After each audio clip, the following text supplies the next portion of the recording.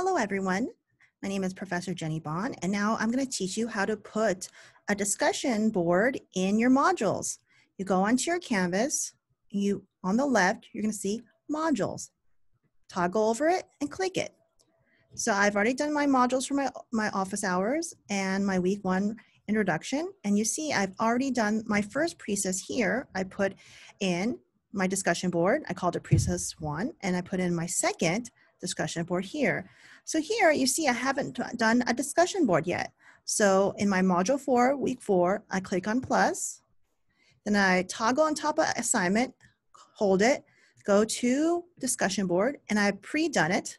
So I created a, a three, three precis summary journal. I add it, and let's see if it's there. It is there, it's right here. Let's click into it.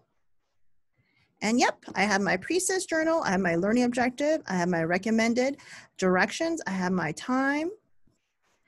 And here are, this is it. And that is how you put a module in your, uh, put a discussion board in your module. I hope this was helpful.